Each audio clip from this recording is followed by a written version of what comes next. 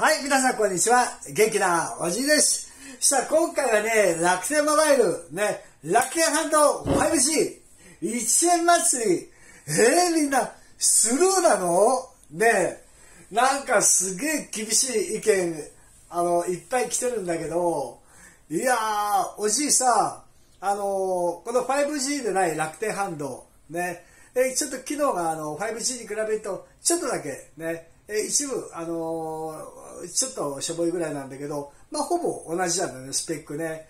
で、えー、録画してて、ちょっとなんか、あの、シャオミとかああいうのに比べると、すぐ熱くなるんだなっていうのと、まあ、バッテリーが半分ぐらいしかないからね、2000何本ぐらいしかないから、まあ、すぐ減っちゃうっていう、まあ、そういうのはあるんだけど、カメラ機能ね、そんなに悪くないと思うんだよ。で、今日朝からね、えっと、ミラーリングしたかったんだけど、楽天ハンドってミラーリングできないんだね。その機能が、あの、ないみたい。これね。あの、アンドロイドだから、あれはあるんだけど、実際には使えないです。えー、ダメな端末。でも、あの、おもちゃとして子供に持たせたりとか、遊び用のおもちゃとしては、1082円で買えるガチャだと思えばね、あの、いいかなと。で、有線ミラーリングアップデートしないと、まあ、あの使えないの持ってて、まあ、ちょっとミラーキャストが使えなかった。で、えっ、ー、とね、ワンボーの T4 でミラーリングしようと思ったら、ワンボー自体がミラーリングの機能がなかった。で、今 P62 を持ってきて、で、あの、ミラーリングやろうかと思ったんだけど、あの、キャッチできないんだよ。あの、楽天ハンドが、あの、まあ、バグなのか何かわかんないけど、あのプロジェクター P62 とミラーリングできないです。他あのシャオミとか他のやつはできるんだけど楽天ハンドはできないです。ね、あの拾えませんあの P62 の信号をね。だからななんかダメだなしょぼいなと思ったんだけどでも今これ撮ってるんだけどあの少なくてもこの安いバカソニックよりは結構明るく綺麗に撮ってくれるしあの明かりが少なくても結構撮ってくれるんだよ。で、アウト、あの、なんでミラーリングしたかっていうと、アウトカメラを使いたかった。あの、ソニーの Vlog カメラ10万円ぐらいするのがね、あるんだけど、あれってあの商品紹介モードっていうのがあって、で、パッてやるとあの後ろがボケてパッとこうピントが合うモードのやつがあるんだけど、それと同じことができるんだね、アウトカメラだと。なので、おじいもね、あの、こうやってパッてやってボケてパッと戻ってって、あこれいいじゃんと思って、で、なんとかね、あのー、アウトカメラで撮りたいなって思ったんだよ。で、写真、こうこうやって反射する、なんかちょっとこう、DIY でね、あだからこういうのあるじゃんよくほら、あのー、なんなんとかっていうのをこうやって、ね、探検子供の頃ね、去ったでしょ。学研の科学かなんかにおまけでついた時もあったと思うけど、で、ああいうのがあれば、これ、後ろにひっくり返しててもなんか、あの、ミラーでね、画面さえちゃんと録画できてるかどうかが分かればいいんで、うん。まあ、少なくともねあのこの楽天のスマホで撮ってると今カウンターが出てるんだよ。今3分何秒って。ね。だからあ録画してるなっていうのが分かるんだよ。明らかに。ね。あの録画のボタンとかそこのところはあの分かんないんだけどあの色が変わったりなんかしないけど。でもあのバカシャディックよりは全然こっちの方が分かりやすい。ね、で、一時停止ボタンがあるんで、一時停止パッと、あの、押せばそこで止まってもう一回再開もできるから、あ、ちょっと待ってね、あの、焦るねっていう時にパッてこう、できるんで、すごいね、使い勝手がいいと思うんだよ。だアウトカメラで撮ったのと、フロントカメラで撮ったのを、あの MP4 ドッキングできるのかなと思ってテストやったんだよ。そしたら、ドッキングできた。テストやった。うん。なので、ものによってはインカメラとアウトカメラとドッキングできない場合があるんでなのであの自分の釣りで使えるかなと思ったら使えたんだよ。おいいじゃんと思って。いや結構使えるなと思ってね。で皆さんの場合は多分ねこれ使うとしたらポムと組み合わせてる人結構多いと思うんだけどそういう使い道があるんだよ。あのやっぱね持ってると悪いことばっかりじゃないけど1082円ね、うん、あの1ヶ月1ギガまで使おうってあのあれやってるとうっかりオーバーしちゃうかもしれないからもう届いたらすぐ解約しちゃって、あの、Wi-Fi かなんかで使ってりゃいいんだよ。本当に。ね。うん、いいと思うよ。あの、電話が使えるだ、どうのこうの品質が悪いけどとかさ、あの、3ヶ月無料でね、1081円で3ヶ月無料のって言ったって、知れてるからね、本当あの、用がないからね。だね、端末、もうせっかく、多分ニューバージョンが出るからもうばらまきだと思うからね。うん。で、あの、なに、転売やめて、みたいな動画作ってアクセス稼いでる人もいるけど、あの、あの、実際には8000円で売ってますって、それ転売しろって言ってるのと同じだよね。煽ってる、煽り動画だね、それもね。あのー、転売屋が8円で売ってるからってね、いくらだけ済んだぞ、みたいな。煽りちゃん、結局。ね。あの、綺麗事で、欲しい人に行き当てくなる転売屋か、転売屋にそんなことあの、あれじゃん、通用するわけねえじゃねえかっていうね。どう考えたって犠牲者だよなと思って、お前それあの、広告主抜きにやるよって そんな動画もあったけど まあ、あの人のことはどうでもいいんだけどね。でもね、これすげえ綺麗に撮れると思うよ、本当。これ8、あの、あの、1円でもいらねえって、ええー、と思うけど、よいしょ。おじいもだから、あの、撮影用のこんな明かり18畳のやつ買ったけど、これ、あもう落としちゃって今日陰日陰にするとねちょっとさすがに暗いなとは思うけどでも昔の撮ってたウェブカメラで撮ってたやつってこれよりももっと暗かったんだよ。本当。びっくりするぐらい。ね。だからねすっげえ綺麗に撮ってくれるなと思って。ただ撮りながらちょっとこう露出の調整ができないんだよ。あのフロントカメラね、うん、でも悪くないよね。夜撮ったらちょっと多少ぼやぼやってなるかもしれないけど昼間撮ると全然なんかギクシャクしてる感じしないんだよ。だいぶでしょ？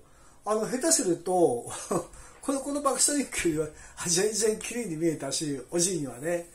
あのー、だけ手放しちゃったあのー、バクサニックよりもこっちの方がねだから使い勝手がいいかもしれないよ。うん。だって画面画面大きいもんだってあの液晶が。あのパコンってほら開くけど高い方のやつあのレンズの分にちょっと飛び出てるんで液晶パコンってやった時にこう引っ込んでるからどうしてもねこうやってレンズがこうやってあったらここ四角ができちゃうんだよ。ここがしっかり映らないからこここうなっちゃうのでここうやって見るんだよね。こおおじいのいいところが見えねえじゃんみたいなね、えー、だからこの方がやっぱねいいいな。これ使えるんじゃねえの？と思って。アウトカメラが使えるようになったらあのピントがこうこうやってやったらね、こっちがボケるっていう使い方ができるから、いや、なんとかね、あの、だ本当ね、楽天、あの、楽天ハンドね、これ、あれ、USB-C の、ほら、HDMI の出力あるじゃん、ミラーリングしてる。あの機能をちょっとお金出して、楽天ハンドに搭載しちゃえば、その機能があるだけで売れるって、YouTuber に。絶対に。Vlog カメラ10万円で買うんだったら、あのー、そのミラーリングの HDMI のタイプ C を搭載するだけで1円でばらまいたらみんな、あのー、来るよ。まあ、1円でばらまいたっていいけど1円じゃなくてもいいけど、あのー、ちょっとお金出して買うよ。あのその主力つけてくれたら悪くないもんだってこれ。本当おじいも今すっげえ悩んでんだよ。ソニーの Vlog カメラを買おうかどうしようか。で、今ね、キャノンのキッズの X3、X7 が、だあそこにソフトを使うと、あのー、ウェブカメラ代わりにできるんだね、あれってね。あ、そうなんだと思って、知らなかったんで、なので、ちょっとその機能を使えば、じゃあカメラ代わりになるんだなと思ってね。まあ、パソコンの録画になるけど、音声も一緒に送れるのかな、どうなのかな。もし音声も一緒に送れるんだったら、あのパソコンでキャプチャーしてほら音の遅延が問題がないからねあのだからあそれもありかなと思ってちょっと考えてたんだよほいだあのあの一眼レフだから綺麗ななんでそれをだから買ってあの7年放置してるかなって思うけどそういえばそんなようなあの使えるのを見たような気がしたけれどもなんかやり方わかんねえからあのほったらかしてたような気もするけどねはいまあそんなわけでおじいは、あの、まあこれ1円1円って言ってもね、結構月額料金がかかってくるんで、1082円、あの、まあ、どうしてもね、嫌でも払うことになります。ね。で、まあ、到着したらね、食事使い役するか、あの、今月いっぱいまで使うか、どうしようかな。あの、日割りがないんで、今は。ね。前はほら、あの、月額2980円の消費税だった時代は、あの、1日で解約すればね、その3000円いくらの30分の1を払うだけだから100、100何円だったね、確か。そうだそうだよね。あの、ミミニとかなんかパンダの時って、即1日で解約すればってやってたような気がするんだよ、おじいの記憶によると。今それないから、即解約してもねた。だまあしょうがない、1082円ね。元気なおじいは楽天モバイルの動画をガンガン作って、とりあえずあのー、アクセスいっぱいもらって1082円これ元回収しようとね、おじいは頑張ります。ね、はい、じゃあ皆さんのコメント拾っていきたいと思います。はい、えー、フリー中にね、一番乗りから、買いましたが壊れてました。お財布携帯、楽天エディ、えー、スイカ、ね、7個など複数起動しません。あ、そうなの？そういう使い方には向かないの？壊れてたのか仕様なのか、ね、あの、ミラーリングもできないんで、これ。でね、あのー、おじい、普通の今楽天ハードなんだけど、5G じゃないやつなんだけど、あの昨日試し撮りした後にさっきアップデートしたんだよ、うん、ね、だからずっとほったらかしてたんでアップデートも知らなかったんで、ね、なんか良くなってるかもしれない。イエーイ、はいまあそれだけでね。でもあの初期不良だったら交換してくんないの？ちゃんと保証で。一年保証ないんだっけ？あのなんだか保証入って。でも最初初回はでもなんか初期不良なかったのかな？初期不良あのちゃんとあれしてくれないだったらあのー、あれなんだっけ契約解除しちゃえばいいじゃんねはい、えー、君だ、おじいこんばんは。いつも楽しみに見ています。ありがとう。楽天ファンド 5G 買いました。イエイ !1 円でなければ買ってませんけど、楽天3回戦契約してます。だって繋がるし、速度も速い。小さいですね。これ以上、スマートフォンですね。ね ねまあ、ミニはすごいちっちゃいけども、ね、でも1081円だったらね。で楽天回線が使えるエリアの方だったら、まあ、結構早いってことだからね。おじいのここもあのすぐ近くにねあるからここ早いんだよ。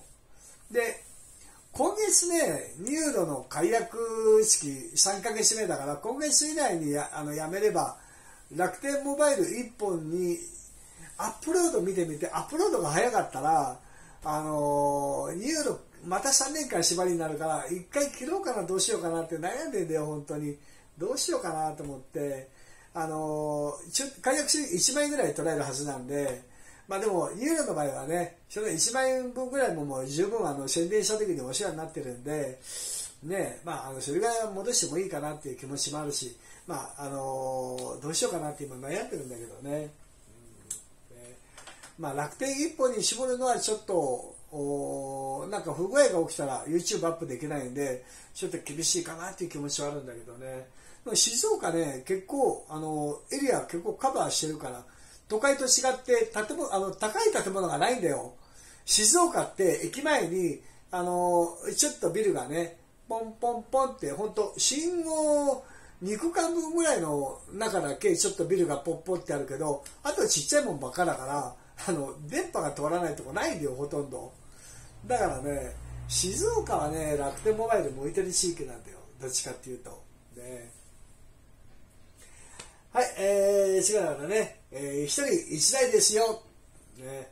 だからそんなルールどこに書いてあるの？大丈夫？って書い,、ね、書いといたらねあの視聴者さんもね1回戦1台と書いてるがっつっておじいそこを強調して解説してるんだけどね、えー、ちょっとわかんないけどまああの解説をお待ちしております。おじい、一人一台ってここに書いてあるよっ、つってね、ダメなんだって、まあ、それを教えてください。で、今おじいの場合は、あのー、なんだっけ、跳ねられない。跳ねられないんだけれども、あの、注文画面に行かない。なんでかっていうと、1個注文したら、それが届いて開通するまで次の注文ができないっていうシステムなんだよ。楽天モバイルって。変なシステムだよね。だから、これ注文して、これ注文、あの、なあのいろんな意味で防止があるんだよ。転売防止とかなんかいろんなトラブル防止があるんで重複防止とか。だ今はもうあの昨日注文したものが届くまでは次のが注文できないっていうそういう仕組みになってるのでちょっとあの注文ギリギリファイナルアンサーいけるところまではね電話番号を選んでっていうところまで進めないので確認はできないけどでもあの今までは跳ねられてたものが跳ねられてないのでいけるはずなんだよね。あのもう一回試してみるけど。ね。はい、えー、ゆうすけさんシャーミー端末1円だったらすぐ飛びつくけど楽天端末はどうしてもいいかなって感じかなってね。そうだね。みんなあのスマートフォンとして使おうとするとやっぱバッテリーがもう今の時代2000円いくつぐらいしかないって少なすぎる本当ね。うんだからねスマートフォンとして使うのはもう無理だし、まあ、メインじゃなくてシャブだったらって思うかもしれないけどあの待機してる間にバッテリーがすぐなくなっちゃうと思うんでそうするとねどうだろうね本当。おじいはあのなんだっけファーウェイファーウェイの P30 ライトあれがね本当バッテリーの持ちがいいんだよ。あのバッテリーがそんなにたくさん入ってないのに持ちがいいんだよ。使わなければ結構長く持ってくれるんでだからねそれぐらいの省電力モードがついてればいいのかもしれないけどちょっと使い込んでみないと分かんない。すぐ減っちゃうんで、ね。まあ、これもうこれはもうこれはもうあのフル充電朝フル充電でもねなんかこうチカチカやってるともうあの半日して流れちゃうし使わなくて置いといても翌日はもうねえじゃんってなるしこれは本当使い物にならなかったねこのミニはね。これちょっと取ったりとかあの今取ったりちょっと使いにいいじゃんと思ったけどちょっと使いにも使えないのがミニだったこれねはい、えー、シータさん、うん、これやっちゃいましたか。1円でもいらないよ。あらー !1 円でもいらないよ、本当いや、もう1円だったらうち100個ぐらい欲しいよ。欲しいね。はい、はねぽけさん。おじいはスルーして動画来ないかと思ってた。楽天ハンド近道がないので。ね、いや、あるある、おじいは。あるよ。あのー、ファーウェイ P30 ライトのカメラよりは100万倍いいよ。P30 ライトのカメラ使い物にならねえから、ほんと全然。いや、御の字だよ、ほんと。ね。まあ、近くはそんなにあの1センチ寄れねえけど、今度マクロモードがあるからどうかな。まあ、アウトカメラだけか。ここは、ここは寄れねえね。インカメラは結構遠いんだよ。ここら辺ぐらいか。ギリギリね。アウトカメラだともうちょっと寄れるんだよ。ね。はい、え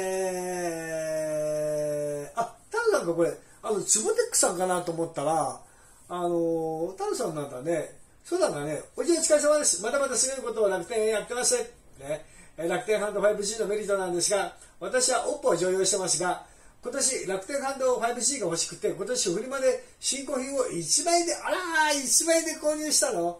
まあでも今年ってもう結構経ったでしょ？ね。まあ価値観がね、その時にあったからね。で、この楽天ハンド 5G を購入したには理由がありました。住んでいるマンションは光が物理的には引けないのですが、楽天の 5G が飛んで Wi-Fi も比較的早いので、おいいとこだね。有線は諦め仕方なくモあのモバイル回線経由で USC テザリングして優先ランルーターをあそうなんだ。じゃあ今からあの慌てて新規で申し込んで予備のステック1000あの1082円だったらあの買っちゃおうよ。1個ぐらい。ね。うんでそこでもっといい方法はないことを探したらこの楽天ハンド 5G が Android 11でインタネットをテザリングができることを知っていて充電したから LAN ができるアダプターを購入してスマホに挿しの LAN ハブ経由で家庭内 LAN にしています。あ Android 11そんな機能があるんだ。で楽天ハンド 5G はインタネットテザリングできる機能を開放してます。常時電源供給しながらなので過充電でスマホの寿命は気になるのですがなんとこのスマホは常時充電してると70%で抑えてくれてますそういうメッセージが出てきます。おじい、楽天ハンド 5G の購入メリットなるかもしれませんので、コメントさせていただきました。ということでね、タオさんありがとうございます。ね、予備ゲットしようよ、予備。ね、万が一の予備に1082円だったら。ね、2、3台ぐらい取っておいてもいいよね。本当ありがとうございます。おじいもこれね、すげえ、おじいの場合ほら、つけっぱなしでやるからすぐなくなっちゃうから、今ね、フルマンタンにしたから今ケーブルつけてないけど、おいしい、あの、つけっぱなしが多いから、ね。そっか、楽天ハンド 5G ちょっと期待するぜ、本当なんかマクロモードっていうのもあるから、5G は。それもちょっと期待してる。ね、ゴミはいらない。うん。まあそうだね。あのー、逆の意味でね、あの、どんなにいい道具でもね、まあ使う人によってはっていうのがあるからね。うん。まあそうなんだよ。まあゴミはいらない。うん、だスマートフォンとして見ると、やっぱ全体的に言うと、いろいろもう、いいものを持ってる方は魅力を感じないっていうかね。だあの、それまでのものを持ってなかったら、いや、これ1円、いや、いいよ、楽天もね、安いし、早いしって、そういう人たちには同じなんだけど、もう、いいの持っちゃってるとさ、シャオミクラスの、あのー、そうなっちゃうよね。エクスペリアとかさ、ね、いいやつ持ってると。はい、えー、たくまさん、おじいの動画久々見ました。ご無沙汰しておりましたことでね。うん、久々見てくれて、ありがとうね、本当ね。うん、簡単あの、戻ってきてくれる。ね、嬉しいね、本当やっぱ楽、あの、このチャンネル、そんなに、あの、電波関係やらないとダメ本当あのさ、あの、まあ、ここだけの話なんだけど、とあるレンタル Wi-Fi の方がね、そこの会社を辞めて、で、あの、今そっち、まあ、同じグループの会社なんだけど、あの、同じ Wi-Fi の、レンタル Wi-Fi のグループだったんだけど、あの、ここの、ね、このほにゃら、ほにゃらら Wi-Fi と、この、ネズミっ子っぽいようなほにゃらら Wi-Fi ね、この2つを担当しちゃったんだけど、おそこを辞めて、えー、今度これの担当になりましたっつってね、あの、連絡くれた、まあ、とある、とあるレンタル Wi-Fi のね、えー、まあ、よくお話しした方がいて、ね、で、あの、4月から始めますって言うから、あの、また宣伝してくれるって言うから、あ、別にそれはいいよって言ったんだけど、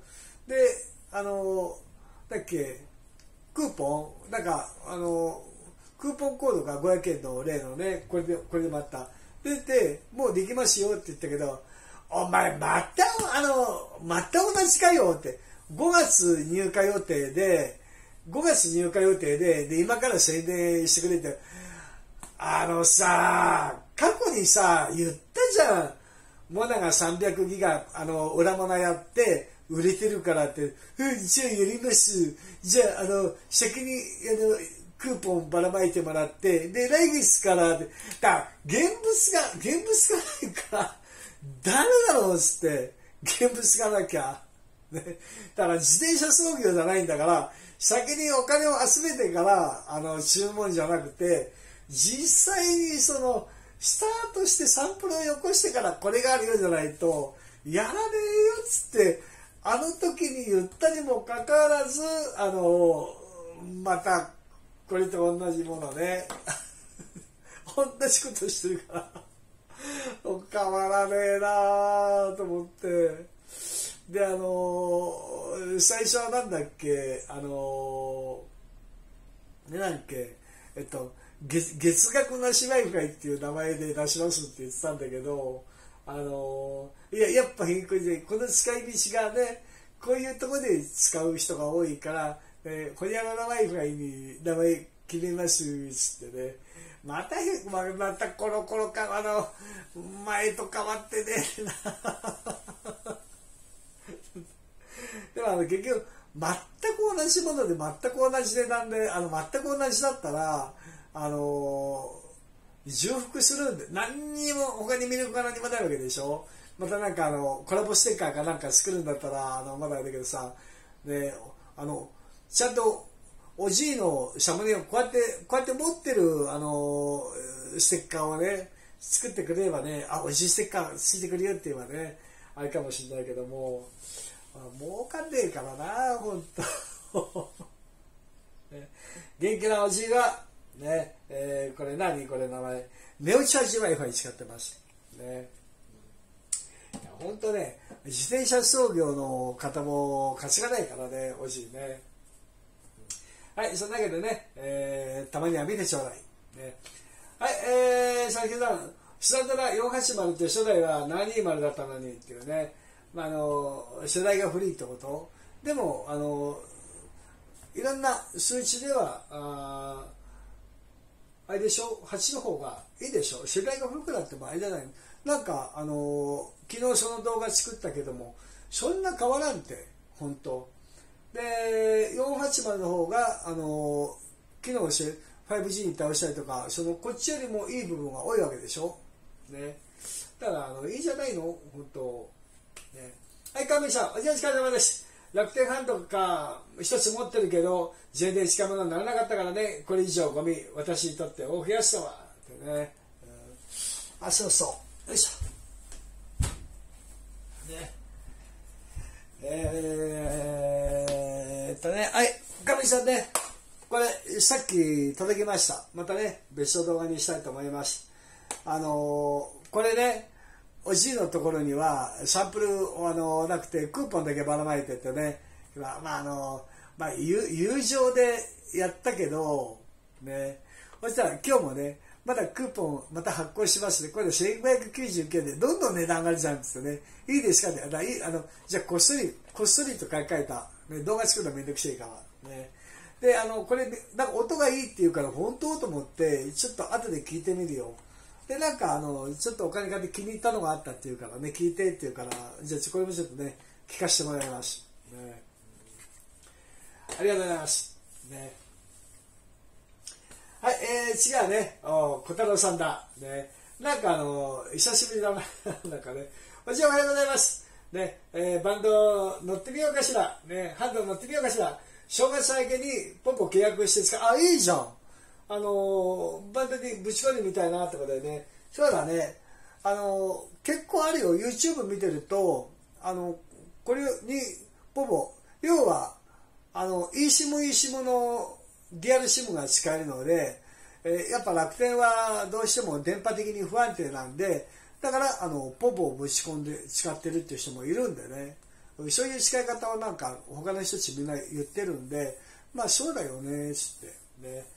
まあおじいの場合はねまああのポポ持ってねえんでもうポポ大嫌いなんでもう認証パスしてくんないんであそこはおじいを。絶対に。ね本人認証させないからポポは。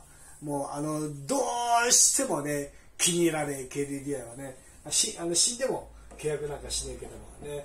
おじいはあのこれせっかくねせっかくあの宣伝オファーいただいてねこれあのちゃんと CM のお金をもらってねあの動画の買い取りでやってもらったんで、うん、このネオチャージ Wi-Fi を使って楽天モバイルねおおお金使えるじゃんってねちょっとその動画を作ろうかなと思ってますね、まああの一歩のねその制作費でこうもらったけどもね2本目3本目の依頼がねあの来ればいいけど来ねえからねまあでもいいよあのー、作るよおじいはちゃんと、ね、お金をもらって CM をね作ったからちゃんと宣伝動画作るよ、ね、自発的にね、よいしょ。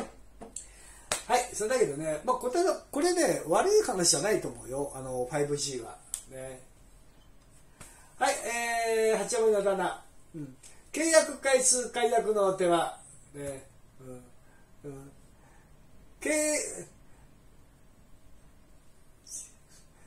注文、注文到着回数解約。ね。だからやっぱフォーサイクルで行こうよ、フォーサイクルで。ね。えー、の手間プラス最低1000円。ね。1082円。そんな価値もない端末、せめて物理支部が使えれば、うんまあ物理シムか、うんまあ、そうだね、まあ、物理シムが使えれば、まあ、いろんなものを使ってねこうやってできるしであの他のところはさポポにしても何にしてもそうだけどあの SIM の交換ってお金かかるでしょ？再発行って。で楽天はかからないからね。うんでもいい SIM にしたいんだろうな。あの総務省とかがもうそうやってやりたいんでしょ？なんかわかんないけど。ね。で、まあ、解約なんかもほら手っ取り早いじゃん。物理 SIM は届かないと使えないけどっていうね。で今まではね貸し出しのものだから権利があって主張してたけど解約したらもう自分で捨ててくれってねあのもう公式でなったわけなんで楽天は。ね。まあそこのところも楽でいいよね。ポイってね。今まではねあの小太郎さんじゃないっけ？ああゴミ箱にしまっていたのに、いや、紛失しちゃうかもしれないなってね、小太郎さんじゃないか、違ったか。ね、はい、えー、本屋さんね、おじいはこのキャンペーン取り上げないと思って、みんな、なんでさっていうの？あの、なんでおじいが取り上げないと思うの？取り上げてくれたので書き換えます。先週土曜日に3台、赤、白、黒、ポチって、お今日もう手元に届きました。ほら、もうこの段階でお一人様一台じゃないじゃん。ね。えー、回線は多分月曜解約しますが、端末は転売せずにちゃんと有効活用するつもりです。メインで使うにはしょぼいけど、サブには十分使える端末なので、これで1000円ちょっとなら安いもんです。そうだね。おじいもだから5個ぐらい注文しようかな。ね。うん。いや、ほんとね、うん、あのーインインカメラで今どう映ってるか見ながらアウトカメラでこうやってひっくり返してこうやって撮れば同じとこにカメラがここぐらいよここで撮っててインとアウトで。そうすると画角が同じあ違うか。こうとこうだからずれるのか、うん。ね。まあ、でもあのおいこれ使い始めてみてあいいなと思うよ。これであのマクロ撮影が結構使えるんだったらじゃあ、あの、2個目いっちゃおうかなと思ってる、おじいね。うん、3色揃えてもいいかもしれない。ね。うん。いや、なんかみんなゴミゴミゴミって言うけど、おじい、実際使ってみてよろしいと思うよ。本当。うん。あの、少なくとも、弓デジのカメラよりは全然いいよ。弓デジのスマートフォン。あれ、本当色も悪かったし、あの、ねスペックはいいんだけどインチキだけだったからねあれね。あのあとこれのなんかフォーマットでほらデータ抜く時に結構長く今日も朝撮ったと思うけどパソコンのテンションが結構早かったんだよ。であの毒リンゴで撮影しても抜けないじゃん。で抜けたとしてもね長いんだよ。長い。あれなあの容量がどれぐらいかじゃないと抜けないけど十何回に1回ぐらいたまに認識する場合があるんだよ。でも永遠と長いよ。本当。どこにもね使ってる人の脳みその中身どうなってるか見てみたいよ本当。よく耐えられるなと思うんだけど、まあ、そういう使い方しないからねみんなね毒リンゴの人がね。あのおじいは昨日からこの楽天ハンドを実用始めていやすごくいいと思った。カメラ機能が。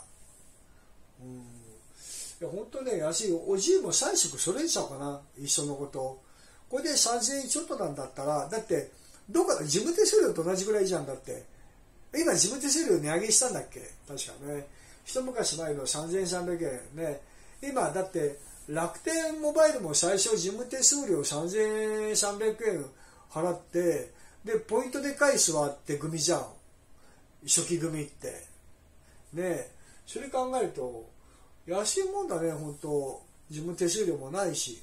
ねうん、いやこういうところは楽天いいと思うよ。あの今までの強気でお客を小バカにしてたけれども。あのこの端末をみんなに23個3色揃えたらあの時の怒りが和らぐんじゃないの？少しは。3色揃えれば。ね。おじいもねそうだね。今回ブラック注文したから次ホワイト注文してその次にレッド注文してみようかな。3色揃えてみようかな。あれはいらない。あのパンダいらない。パンダはいらない。あ、ここまでだね。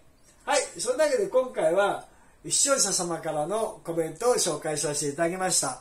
いや、本当ね、あの、メインのスマートフォンとして使おうと思ってる方は、まあ、やめた方がいいよね。バッテリーが本当はちっちゃいしね機能性能もやっぱ今のスマホにしてみたらちょっと弱いところがあるから、ね、でおもちゃとして使うならおじい絶対これだってほら夜はちょっとこうたまにざわざわってノイズ感があったけど全然いいでしょほら。全然ほらギクシャクしないもの綺麗なものだって。これフル HD で撮ってるけどあこれでもどれぐらいフルあのただ 1080p としか書いてないから30なのか20なのか60なのかわからないけどこれ一体30ぐらいかなこれぐらいと。こうして残像が残るかなそうだね。これ30だね。60だともっとスムーズだと思うからこれ30だね。多分ね。うん。そうなんだよ、え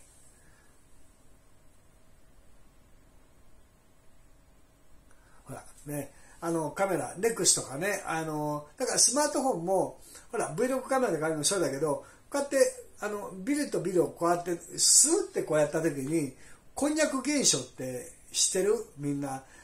あのこうやってカメラ向けた時にこうやって向けた時に映ってるビルがこうやってならないでここぐにゃぐにゃぐにゃぐにゃってこうなるんだよ。こんにゃく現象って。こうやってねビルがこう曲がるんだよ。こんにゃくでうにゃうにゃうにゃうにゃってね。そうならないでしょこれ。なる？なるかなどうかな。どうだろう。別にこんにゃく現象ならないんじゃないの？どうだ？どう？よいしょ。いいよ。こんにゃく現象なってる？こんにゃく現象わかんねえか？わあ気持ち悪い。ちょっと反対で戻さないと。ほらわ悪くないよね。ほらほらほらほらほらほら。どう？ほら。うわー。なんかたまには富士急行きたいな、なんかもう、あの、十何年ぐらい行ってねじゃねえの。うわ、気持ち悪い気持ち悪いちょっと待って、反対でこれぐらいで戻されると、うわー気持ち悪い。うわ、ちょっと待って、もうちょっと戻されると、これ、これぐらいかな。うん。うわー気持ち悪い。あの、まあ、ライブ配、ライブ配信の時に、富士急ハイランド行って、で、あの、ライブ配信ずっとやってたんだよ。で、あの、なんだっけ、ぐるぐる回り足とか、こうやって置いといてね。で、おじいを探せ、みたいなね。こうぐるぐる回ってきてさ、で、カメラに向かってこうやって、やったりとかね。で、あの、あの、ジェットコースターだけ行きたく、行きたくても、見つけれちゃうんだよ。あ、ここに行ってね。これなんですかってね。ダメですよ、ってね。大丈夫ってね。あ、おっかねお姉ちゃんがね、ね中入ってたらすぐ怒るんだよ。ね。そうなんだよ。あれ以来だからな、本当もう今のうちにジェットコースター乗っとかないと、ほら、ね、年齢制限でもう乗れなくなっちゃうからね。もう一回乗りたいな藤山。ね。あの、富士急の中で新しいのがどんどんどんどん出てるけど、こんなのってこんなって、全然怖くないんだよ、ああいうのって、新しいのって。全く怖くない。一番やっぱね、怖いのは藤山だよ。ああ、もう、やっぱり藤山、一番。あの、もう、だんだんだんだんだんだんだんだんだんだんだんだんだんだんだんだんって上がってくあの、一番時間が長いしね。で、ここまで、こ腰のここまでしかないやつに、ね、ここでガチャンでしょね。